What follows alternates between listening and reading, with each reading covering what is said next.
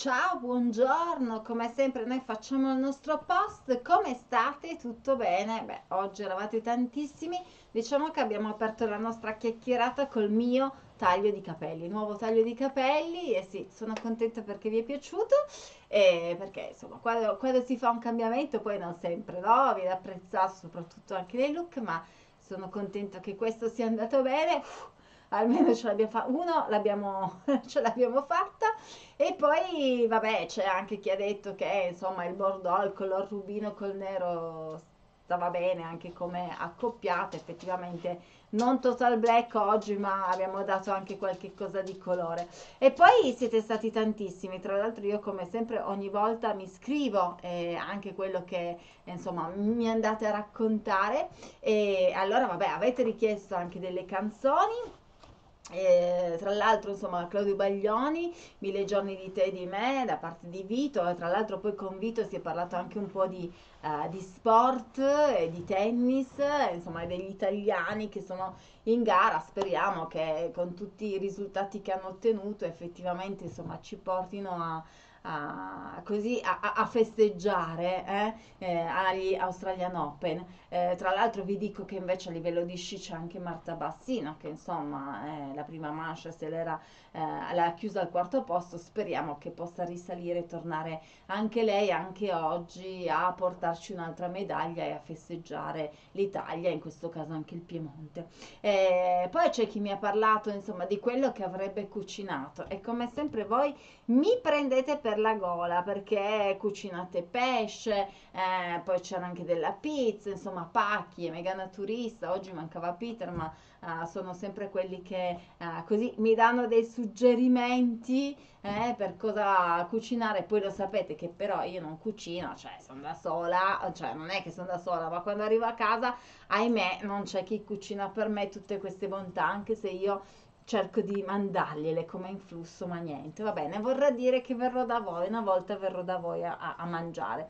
E poi, come sempre, tanti, insomma, da, da ogni parte del mondo facevamo anche il confronto un po' eh, sulle ore no? di differenza a seconda di dove voi stavate eh, guardando interagendo con la nostra diretta. Eh, anche Karim, se non ricordo male, ehm, insomma, sta imparando l'italiano, quindi ha chiesto anche delle riviste italiane eh, per poterlo imparare meglio perché gli piace l'Italia, gli piacerebbe venire. È vero che non possiamo ancora viaggiare, o comunque sì, adesso bene o male possiamo anche viaggiare un po' di più anche con eh, insomma, la pandemia e tra l'altro come ci diceva Afonso, beh, eh, lui effettivamente quest'estate riuscirà a viaggiare un po' di più, andrà nelle Azzorre, che fortuna Afonso, sono proprio curiosa poi di sapere che cosa avrai trovato e magari ci racconterai nei martedì mattina. E poi che cosa ancora? Beh, avete chiesto altre canzoni, eh, tra le varie canzoni Mega Naturista ha richiesto anche Auschwitz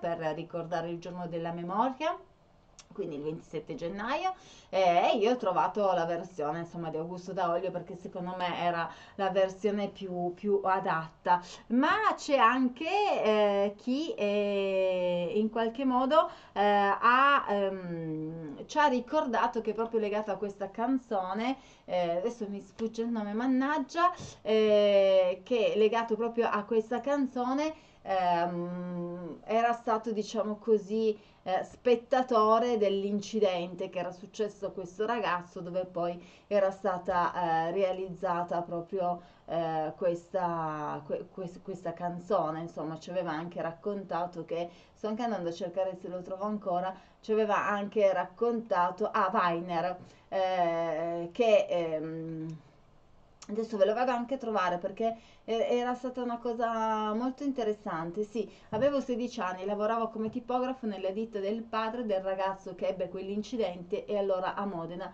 era il centro della musica italiana. Tant'è che poi insomma ci, ci dice che eh, non fa più il tipografo ma è meccanico di bici e moto e eh, Modena è patria del beat italiano, quindi insomma eh, grazie anche a Weiner per averci raccontato no, anche questo episodio legato a un brano che abbiamo passato. E poi rifacendoci invece al martedì scorso quando si parlava di ehm, cose un pochettino più particolari, abbiamo parlato anche di un libro. E quindi dicevamo che sono andato a cercarlo allora Le sette morti di Evelyn Arcastle questo era il libro che ci aveva consigliato appunto ricordiamo maestro Domenico Guariglia in occasione anche della puntata precedente di martedì scorso dove parlavamo insomma di, di, di, di fantasmi e di luoghi un pochettino così spettrali.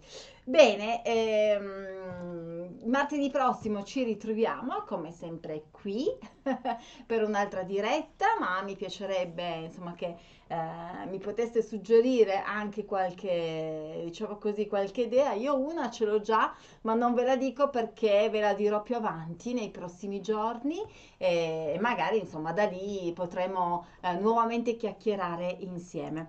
Eh, nel frattempo, come sempre, vi ringrazio, vi dico che potete eh, scrivermi a imhlib.it per Uh, mandarmi magari dei suggerimenti, delle idee su che cosa chiacchierare, su che cosa raccontare, mandarmi magari anche le ricette, visto che mi prendete sempre per la gola, oppure una foto anche di dove abitate, perché sapete, io sono donna, sono curiosa e poi come sempre tutte queste cose posso magari eh, così eh, metterle in quello che è il nostro appuntamento su Patreon Simona Non Solo Radio. Per cui con questo naturalmente tutto, io vi ringrazio, vi auguro una buona giornata e, e rimanete sintonizzati. Un bacio, ciao alla prossima, grazie.